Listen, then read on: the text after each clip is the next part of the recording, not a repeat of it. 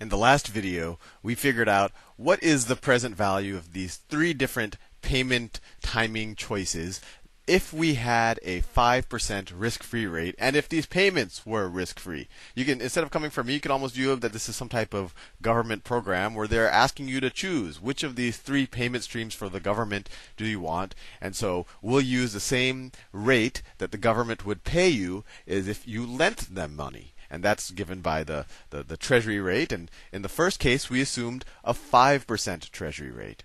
And if you watch the first present value uh, video, I think you understand why compounding going forward is the same thing as discounting that rate by going backwards, right? If you want to know how much $100 is in a year from now, you multiply that times 1 plus the dis- 1 plus the the interest rate, right? So if it's 5%, you multiply that times 1.05. If you're taking $110 and going a year back, you would divide by 1.05. So it's just the same operation. You're just going forward or back. Forward is multiplication, backwards is division. But anyway, the, the result that we got in the last video is that the present value, let me do this in a different color, and I'll introduce my notation. The present value, if we assume a 5% rate for all for depend no, no matter how long uh, the how far away the money is given to you, and and you'll see what I mean because I'll change that assumption in a second. But if we assume that the that the risk-free rate is five percent, then the present value of the hundred dollars today, well, that was just hundred dollars. The hundred and ten dollars in two years, we got that by doing hundred and ten divided by one point oh five squared, right? You divide by 1.05 there, and then you get divide by 1.05 again, and then you get we got $99.77. 99.77. I don't want to run out of too much space. I could have probably done this whole thing a little bit bigger. And then choice number three. How did we get that? Well, we, we said, let me do that in a different color.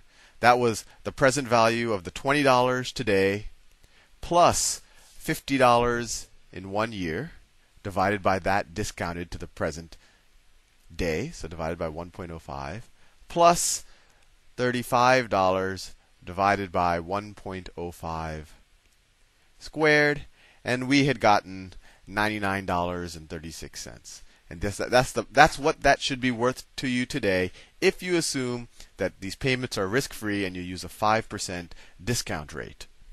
Fair enough. And based on these calculations, choice number one was the best, choice number two was second best, choice number three was third best. Fair enough. Now, what happens? And you might want to, after I pose the question, you might want to think about it before I show you the answer. What happens if I don't assume a 5% discount rate? What happens if I assume PV, let's assume a 2% discount rate. This is just my notation. What, what is the present value of these if I assume a 2% risk free rate or a 2% discount rate? Well, the $100, I'm getting that today, so that's still worth $100. You could even view that as 100, let me do that in a more vibrant color, as 100 divided by 1.02 to the zeroth power, because we're getting it today, but that's just 1.02 divided by 1, which is just $100. Right, $100 today, what's the present value? It's $100. Now, what's the the hundred and five dollar? Oh, sorry, what's the hundred ten dollars two years out going to be worth? So this is interesting. When the interest rate goes down, right, it went from five percent to two percent. I'm going to be dividing by a smaller number, right? 1.02 squared is a smaller number than 1.05 squared. So, the present value of this payment should go up. Interesting. This is something to keep in mind for later when we start thinking about bonds.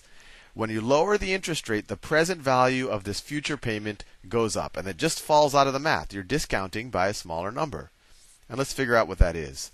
So if I take $110 and I divide it by 1.02 squared, right? Discount it twice, I get $105.72. 105 and 72 cents, right?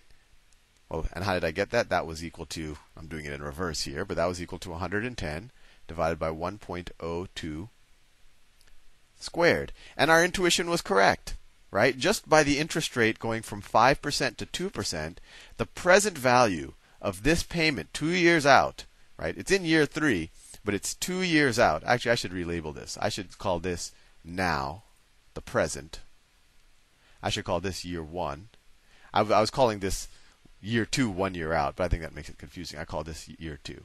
So this is now. So you could call this year zero, right? This is year one, and this is year two.